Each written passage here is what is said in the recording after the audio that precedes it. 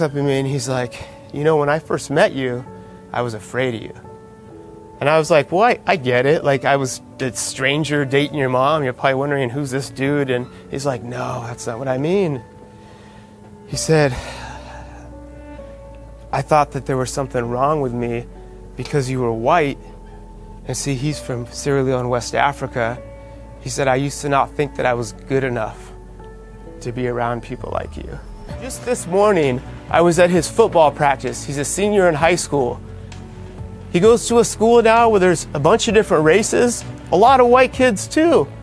And, and they're friends with each other, but not only that, he, he, he stars on the football team, playing varsity, six foot, 240 pounds, he's a beast.